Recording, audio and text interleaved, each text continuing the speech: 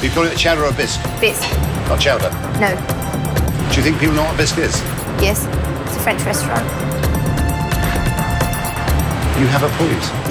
Thank you for the correction. nice flavour as well.